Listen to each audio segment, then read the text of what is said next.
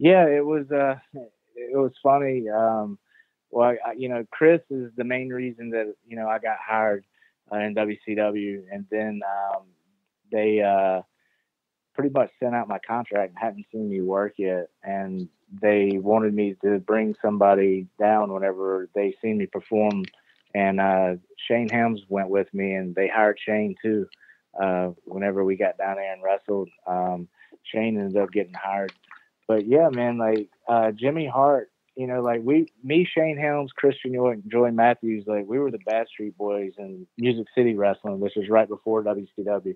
Like we were out there, you know, pretty much every weekend uh, or you know a couple times a month at least uh, working for Music City Wrestling. We had just such a good following out there, and our you know like the whole boy band type thing was really over out there. And uh, you know I don't know if that was something because I know that Chris Kanyon, I know WCW was watching Music City Wrestling because whenever I called Chris Kanyon uh, to ask him, you know, like, hey, how can I get involved in this cruiserweight action that's going on?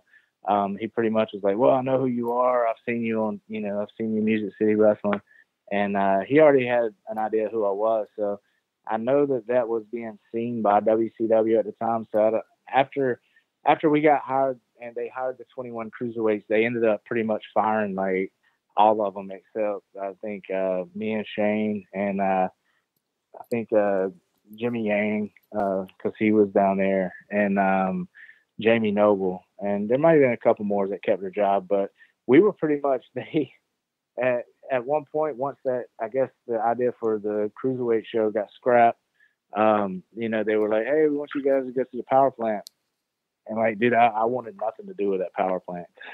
Like, I, hmm. you know, me and Shane, like, we'd already been wrestling forever, and you know, like our gig in Music City, like, we we're making, you know, a little bit of change there. You know, nothing like we were making in WCW, but you know, we felt like we were finally making a stamp like on national TV with Music City Wrestling.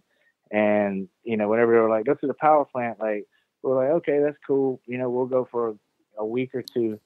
And um, I just remember like, like I, I didn't mind going for a week or two, but my, at the time, my dad, he was a paraplegic and I was kind of helping, you know, I guess pay for you know, the care for my dad and helping out with that with my mom whenever I was home.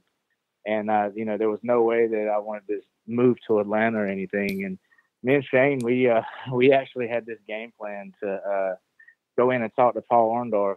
And, uh, we were, we'd already talked about it too. We're like, man, we've heard he's crazy. Like, you know, he's probably got guns and knives in his drawer, but we got to go in here and let him know that, you know, we don't want to be here. So we went into Paul Orndorff and we're like, hey, um, you know, we've been wrestling for a while, which was probably the wrong thing to do. We probably didn't make the right decision by doing it. And we're like, you know, we we pretty much we don't want to be in the power plant because I've got hurt too down at the power plant by somebody that just shouldn't have been in the ring. I guess at that point with me, just they were real green, and uh, I'd got a concussion down there. And like I was there for a week, and it was just uh, I don't know, it was just a lot of wear and tear on my body, and I just didn't. I didn't think I needed to keep doing that because it, it just it was de- digressing me rather than you know putting me in the right direction. Long story short, we went into Paul Orndorff and we were like, "Hey, uh, basically, we don't want to be here." And we were expecting him like to pull a knife or something crazy or try to fight. Because I was like, Shane, if this happens, man, if this goes down, like, I hope you got my back. Shane's like, you better have my back. So like we, you know, we had this plan. Like Paul's probably gonna try to kill us, but Paul was like, well, I don't know why you guys are here anyways. You guys are awesome and basically put us over. But then whenever we walked out the office, like from what I hear, like we were put on the to be fired list immediately. so, um, you know, that whole political thing probably had a little uh, play right there. So they were going to fire us, and then uh, basically Jimmy Hart scooped in. He had this idea for three count.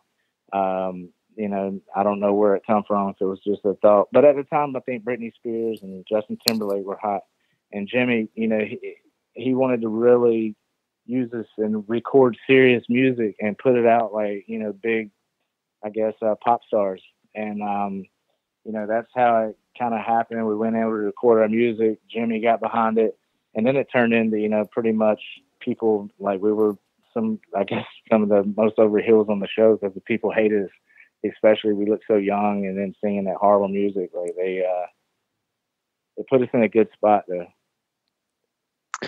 very funny and obviously got a huge amount of heel heat. The theme song, the dancing, the the singing, you know, all that stuff. It was just kind of like the, the perfect storm, especially with you and Shane being great workers and throw Evan Karagias in the mix. It just worked, and the fans hated it. Did you enjoy kind of playing that role? Did did you think that maybe you could be doing something, you know, maybe better or something else, or did you like the fact that it was kind of like, uh, you know, almost like tongue in cheek, like, oh, we're a boy band, but you know, we're really out here getting the most heat of anybody on the card.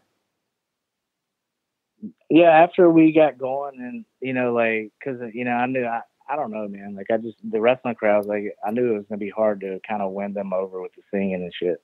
But once we started, you know, going out there and getting heat, and they started booking it like that. Like I, I really liked it. I thought it was cool because, you know, it, it, I mean, Arn and like Arn Anderson, like I love that dude to death. Like he, man, he used us to, I guess, to our max potential. Like in that, being in that spot. Like I mean, he would send us out to open the show. He'd send us out right before intermission, right after intermission, and then they'd put us on. And you know, would come out around the sim right before the main event, and like, oh, you guys want to hear it one last time?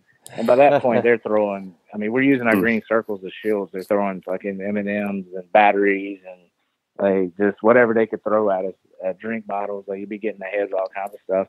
And then all of a sudden, like you know, Sid would just slowly walk down the aisle, and you know, big ass Sid. People just they see him creeping up behind us, and like you know, they'd start going nuts.